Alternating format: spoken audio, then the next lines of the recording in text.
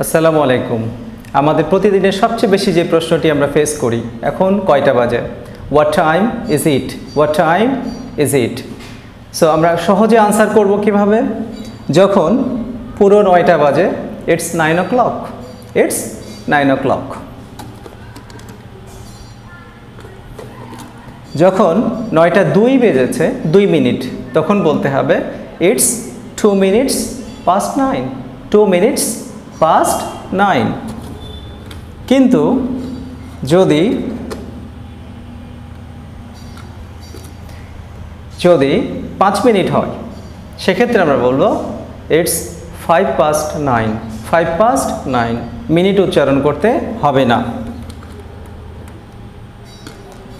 যদি সাত মিনিট হয়ে যায়, তখন বলব seven minutes past nine so এখানে ছোট্ট যেটা আমাদের মনে রাখতে হবে, যদি সংখ্যাটি পাঁচ দ্বারা বিভাজিত হয়, অর্থাৎ পাঁচ দিয়ে ভাগ করা যায় এমন সংখ্যা হয়, তাহলে আমরা কি করব শুধু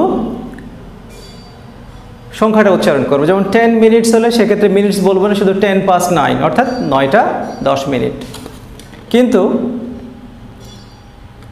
যদি পনেরো মিনিট হয়ে যায়, সেক্ষেত্রে আমরা বলব ইটস ফিফটিন পাস্ট নাইন না, বলব it's quarter past nine quarter past nine তখন আর ফিফটিন পাস্ট নাইন বলার প্রয়োজন নেই।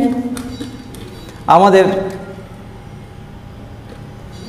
যদি সাড়ে নয়টা বাজে, সেক্ষেত্রে আমরা বলব it's half past nine half past nine half past nine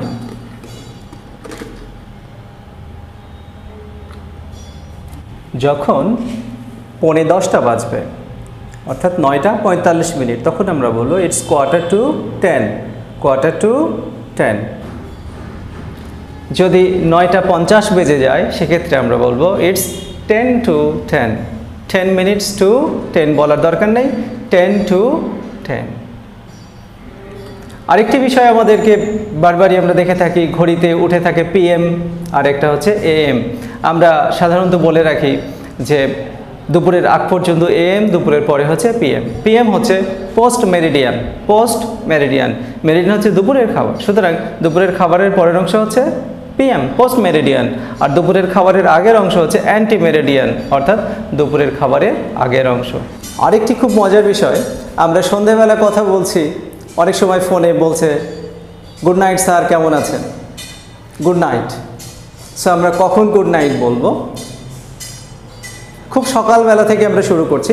সকালবেলা ফার্স্ট কারোর সাথে কথা বলছি গুড মর্নিং আসসালামু আলাইকুম গুড মর্নিং শুভ সকাল। একটু বেলা যখন হচ্ছে বারোটা পর্যন্ত, তার এগারোটার দিকে আমরা কি বলতে পারি? গুড নুন এগারোটা থেকে দুপুর পর্যন্ত গুড নুন দুইটার পরে আমরা অবশ্যই বলব গুড আফটারনুন শুভ সকাল, শুভ মধ্যাহ্ন, শুভ অপরাহ্ন। বিকেলটা হচ্ছে অপরাহ্ন গুড আফটারনুন সন্ধ্যা পর্যন্ত। সন্ধ্যার পর থেকে পুরো রাত্রি আমরা কি বলব? গুড ইভিনিং গুড ইভিনিং কিন্তু আমরা অনেক সময় বলে থাকি গুড নাইট গুড নাইটটা হচ্ছে জাস্ট বিদায়ী সম্ভাষণ। আমরা যখন কারোর সাথে কথা শেষ করছি, সেটা রাত দশটা হোক কিংবা ভোর চারটা হোক, আমরা শেষ করার সময় বলতে পারি গুড নাইট গুড নাইট হচ্ছে যখন আমি শেষ করছি, এরপরে আর কিছু বলব না। সুতরাং গুড নাইটটা হচ্ছে জাস্ট কোনো কিছু বিদায়ী সম্ভাষণ। এটা কোনো স্টার্টার নয়। আমরা এটা বলে শুরু করতে পারব না। গুড নাইট ফ্রেন্ডস কেমন আছেন আপনারা? আশা করি আমরা এটা বুঝতে পেরেছি।